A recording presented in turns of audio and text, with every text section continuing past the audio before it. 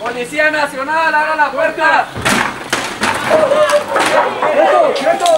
La Policía Nacional informó en las últimas horas sobre la desarticulación de una banda denominada Los Seguidores de la Repunta, quienes se dedicarían al tráfico de estupefacientes en el distrito de Barranca Bermeja. En la operación fueron capturadas dos personas y la aprehensión de un menor de edad, nueve por orden judicial y cuatro en flagrancia por los delitos de concierto para delinquir, homicidio, porte ilegal de armas de fuego y tráfico, fabricación o porte de estupefacientes en Barranca Bermeja.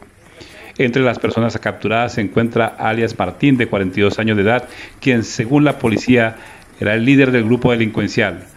Fercho, de 32 años, que sería el segundo a cargo de coordinar el expendio a gran escala de estupefaciente, y alias Duque, de 32 años, a quien se les indica de ser sicario. Estas personas estarían vinculadas con actividades ilícitas relacionadas con la comercialización, tráfico y venta de sustancias alucinógenos, pase de coca y marihuana y homicidios selectivos en las comunas 1 y 2 de Barranca Bermeja.